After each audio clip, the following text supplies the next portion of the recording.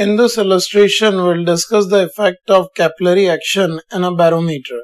We are given that a barometer is constructed with its tube having radius 1 mm and uh, assume that the surface of mercury in the tube is spherical in shape. And if atmospheric pressure is 76 centimeter of mercury, it is asking what will be the height rise in the barometer tube and we are given that the angle of contact of mercury with glass is 135 degree and uh, here surface tension of mercury is 0.464 newton per meter and density is also given to us. Here uh, in solution if we draw the figure of a barometer in which uh, in a container an inverted uh, tube is placed uh, which is dipped in mercury and uh, due to the vacuum in the tube mercury rises up. And say it rises to a height h which we are required to find. And uh, to analyze the effect of surface tension in this case we consider two points A and B above and below the mercury meniscus and here if we draw the enlarged view of uh, the section here we can see in this tube this is the mercury meniscus. And here we can see if uh,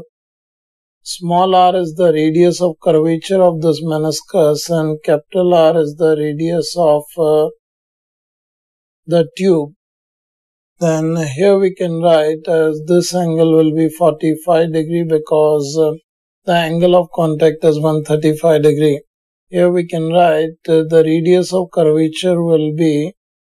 capital R times root 2 because capital R is R by root 2. Now in this situation here we can write uh, pressure at point uh, B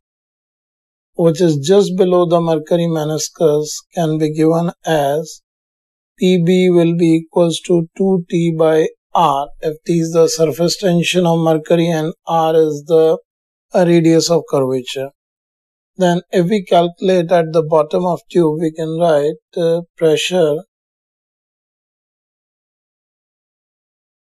at the bottom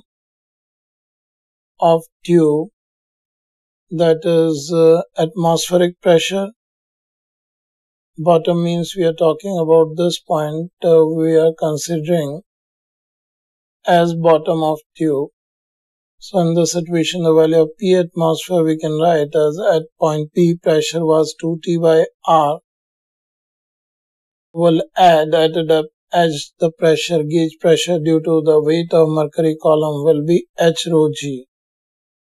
Now in this situation if we numerically substitute the values over here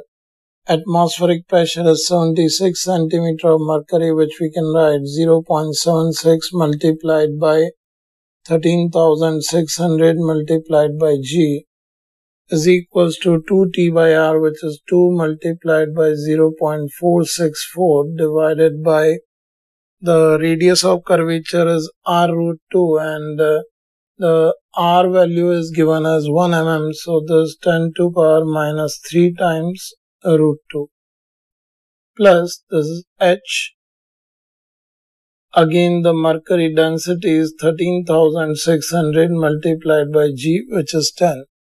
And if we simplify these values, the value of H we are getting is 0.76 minus 2 into 0.464 divided by this 136 root 2 and when we numerically simplify these values it gives us uh, 0.7552 meter which is 75.52 centimeter. That is the result of this problem